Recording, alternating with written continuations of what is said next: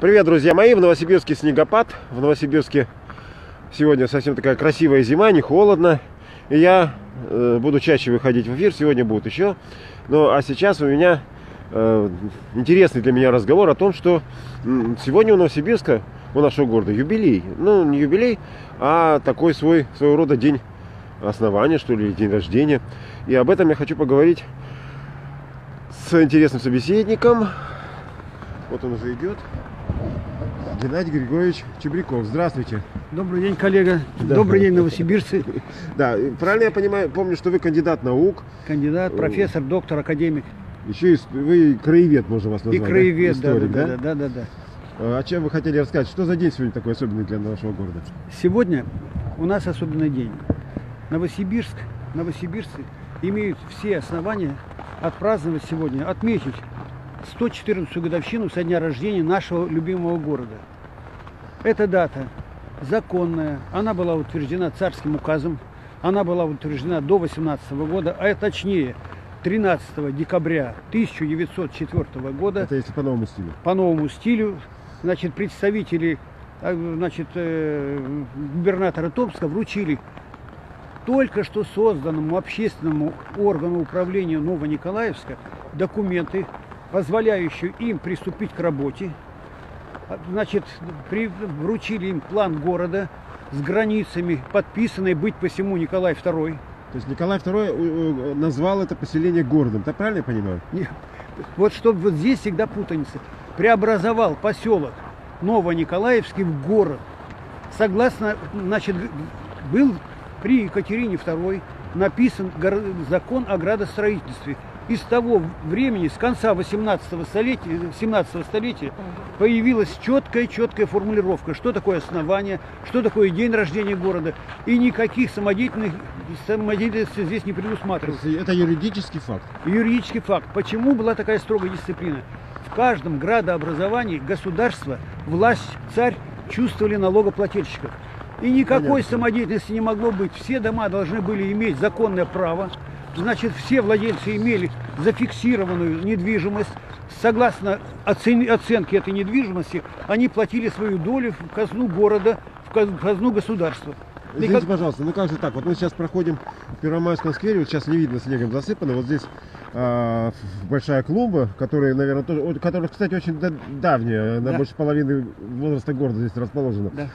А, вот на этой клубе написано 1893 год. А это что за дата? Поправлю, Тимур. Значит, какая вещь? Слово карьеризм – это оно свойственное русским и нерусским, везде оно существует. Но вот когда во времена однопартийной системы это очень процветало, тогда на работу не принимали, тогда ценили, если ты больше говоришь в угоду однопартийной системе. Вот здесь на клубе товарищ Шамов и Индинок придумали к стол- столетие и на ней написали «Но- Новониколаевск основан в 1893 году. Позже в самой цен, это, в мэрии на третьем этаже висит указ, подписанный Николай, Вт- Николаем II, что поселок Новониколаевск официально появился после того, как Николай II уже 3-4 года был у власти. В 1897 году. Копия документов у меня вот здесь. То есть это по существу бред, который... Ладно, при- сейчас Ладно, снег идет. не ладно, снег. мочить. Потом, ну, факт то, что документ этот есть в архиве и здесь. Подожди, подожди, а что же произошло, собственно, в 1893 году? Почему, что за повод был тогда? Повод, опять же, вот вы очень хорошие вопросы задаете. 1893 год. По никаким документам официальным нет. Значит, есть, были, вот книга вышла в 1987 году. Значит, Борюшкин и еще двое его, значит, коллег выпустили книгу в Новосибирском историческом прошлом. И в ней написали, что как раз а, прям так и ставят вопрос, откуда появилась дата 1893 год, и, которая стала вообще корнем всей истории на- нашей липовой, фальсифицированной истории. И сам же отвечает, что нам попало в руки две фотографии. Мы долго гадали, что одна фотография якобы вроде мост начинают строить, а на другой якобы приехали строители. Вот мы думали, думали и приняли, приняли, никакой документом, никакой ученый совет не принимал, а просто вот там 2-3 человека, кто они приняли, то ли с супругой, то ли он сам один принял.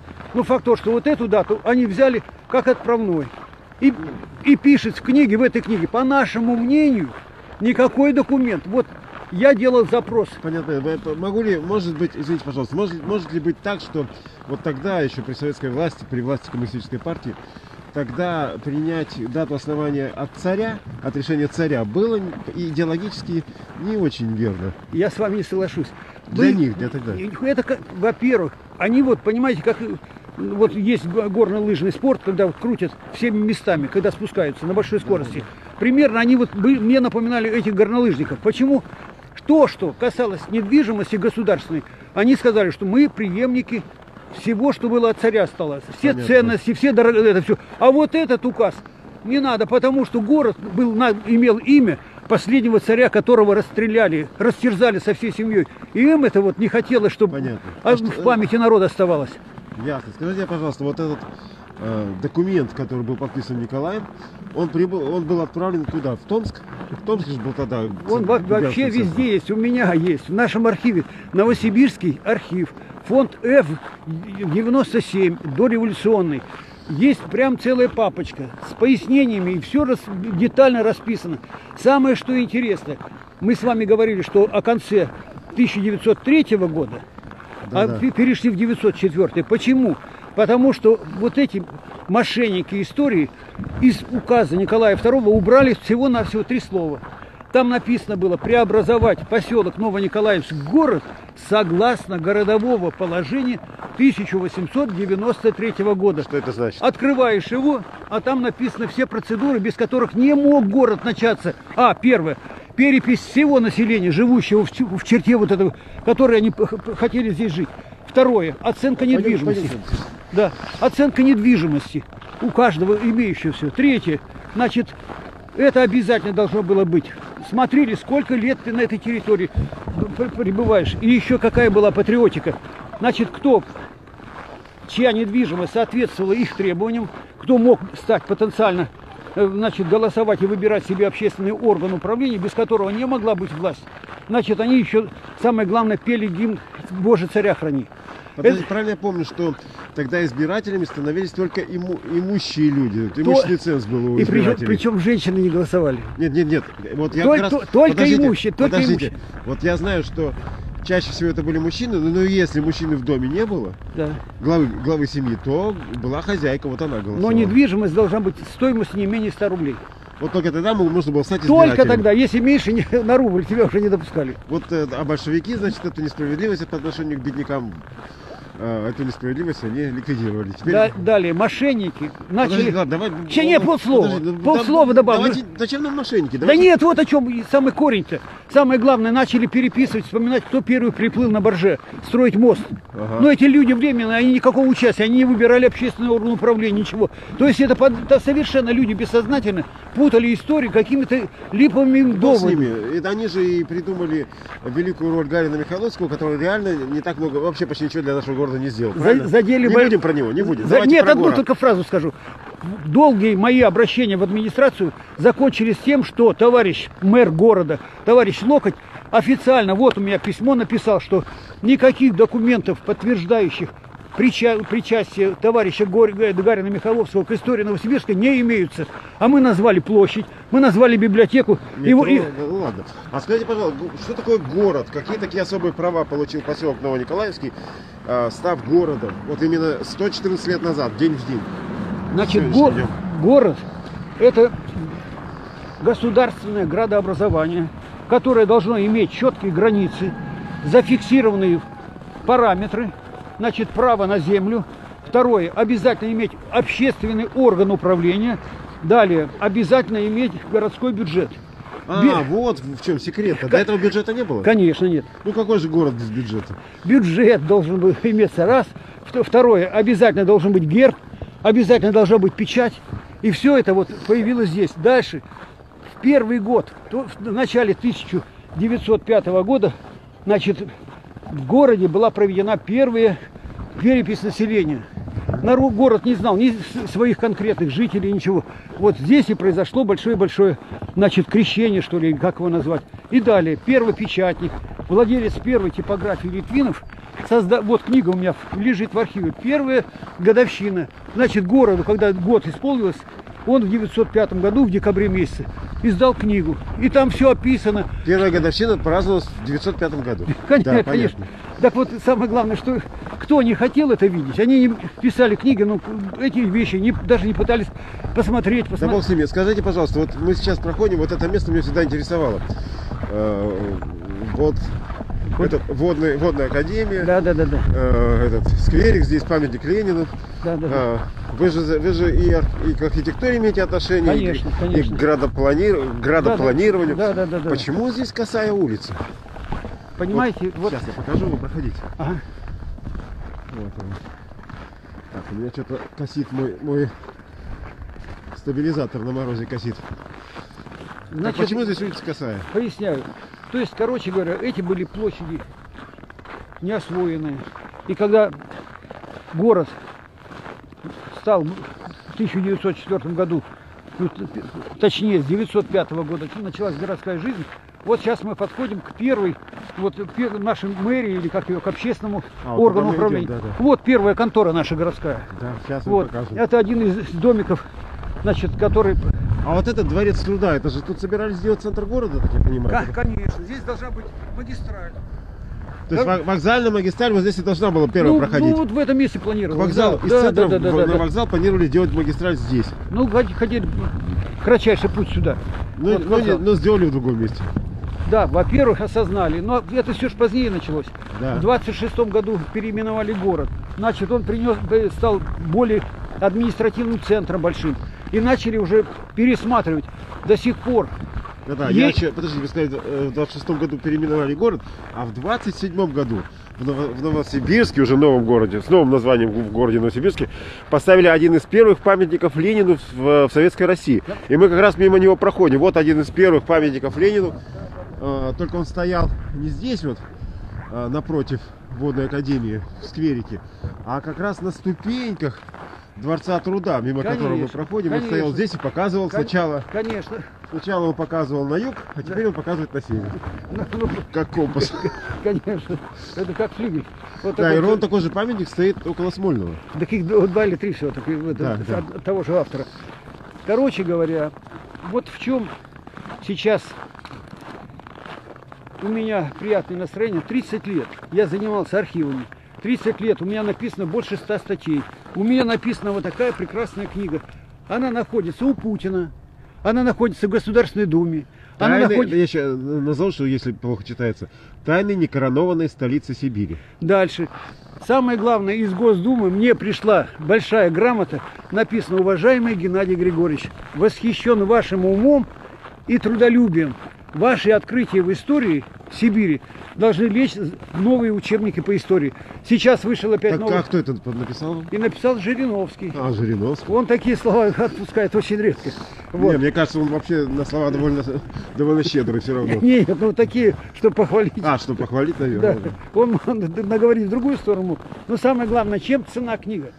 Впервые в мировой практике, отечественной практике истории, впервые написано, что город наш произошел от поселка Кривощекова, основанное по воле Петра Первого, вот написано, Да, да, в да. 1699 году. О, так нашему городу получается больше 300 лет по- 300 по, 300 по этому счету. 314 Точнее, первому поселению на этом месте. основания, да. Больше Начало, начало, начало освоения территории. Так самое главное, у меня вот здесь в Новосибирской новости есть там историки в кавычках. Они мне даже чуть не меня говорили, Геннадий Григорьевич, вы не историк, что вы там 5-10 показывали у виска. Ну вот, две недели назад в мой адрес поступил звонок. Я снимаю трубку, и меня пригласили на левый берег Оби. Я приезжаю, и представитель Института археологии Новосибирска, Новосибирского академгородка, показал мне, вот ваша книга, в ней на- написано, откуда город начинался. И то, что наши краеведы в кавычках сказали, вот отсюда начало города, это все липа. Никакого начала не было, где сейчас стоит ферма моста. Это все вранье. Ну, зачем Вот. такие слова? Просто это, Ну, скажем, это другая версия. Ну, Давайте так версия другая, ну, на- документы. Сейчас, когда раскопали, сейчас в левобережье раскопали 400 захоронений. Вот где город начинался. Все, история и 300 лет археология, назад. все Больше точку 300 поставила. лет. 319 лет назад получилось. Да, самое главное, что там и нашли и монеты времен Петра Первого. Это конец 17 века. И там нашли очень много доказательств 18 века. И там нашли Понятно. 19 век. То есть через все очень большие, большие подтверждения, что наш город никакого отношения к двух, как мы сейчас праздновали, значит, Не, ну тоже дата. Начало строительства моста тоже дата. Почему бы нет? нет. Сейчас, во-первых, один, один момент. Извините, пожалуйста, Так Георгий как мы можем каждый день придумывать даты, и мы сопьемся. И русский народ имеет наклонность. Ну, чтобы не спиться, давайте мы покажем. Давайте будем завершать, потому что мне уже тут поступают другие сообщения. Вот первый. Вот, дом. Сейчас, про- проходите. Так, зеленый, пойдемте пока зеленый. Это один из частных домов Сурикова, первого нашего, ну как его назвать, первого нашего главы места, местного самоуправления. Вот человек, который имел вот этот дом. И у меня все документы есть. И что в этом доме было? Ну, вот наша общественная организация, 14, То есть первая общественная мэрия была вот в этом доме. да, 14 Который, был- человек. который И- несколько лет назад сгорел, его восстановили. Самое главное, хорошо, что не дали. Кто-то хотел его, это место занять. Ну, молодцы, вот власть, которая у нас сейчас есть в городе, настояла, его реставрировали, и выглядит он очень приятно.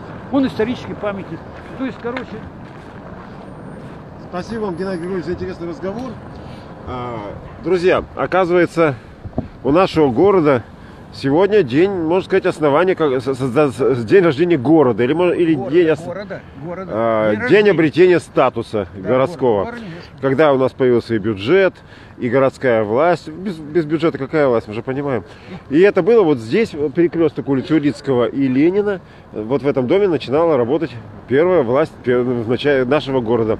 А кроме того, есть еще даты у Новосибирска и основание Кривощекова э, в 1699 году, и начало строительства моста. Важная дата, но ака- вот Геннадий Григорьевич считает, что она не, не ключевая. Подожди, что она, не она ключевая дата, а это Она- 1893 Она год. ключевая дата раздора. Потому что люди, кто ни, ни- ни в архивах не работал, они придумали, что город начался от моста. Никакого разговора. 200 лет до начала моста существовало уже поселение, и Понятно, народ, понятно. проживал. И Ну, начинал- короче, э, нет повода не выпить, но вовсе не обязательно спиртное. Давайте выпьем чаю или кофе, или кто что хочет, Или за, день- за процветание нашего города. Или в день города, который вправе праздноваться днем, когда летом, вернее, когда хорошая погода, мы выходим отдыхать. И А, а вот сегодня, 13 декабря, 114 лет со дня основания. документальный, это один раз в году вот этот день. Он день рождения, настоящий день рождения города. Да, понятно. Спасибо вам большое. Спасибо. Что будет еще интересное, э, я, интересные собеседники, интересные обстоятельства я вам покажу. Сегодня, может быть, получится показать, как в городе убирают снег. И еще что-нибудь интересное. Все, пока. Тимур Ханов, Новосибирск. В, в такой важный, в такой день, 13 декабря. Сейчас.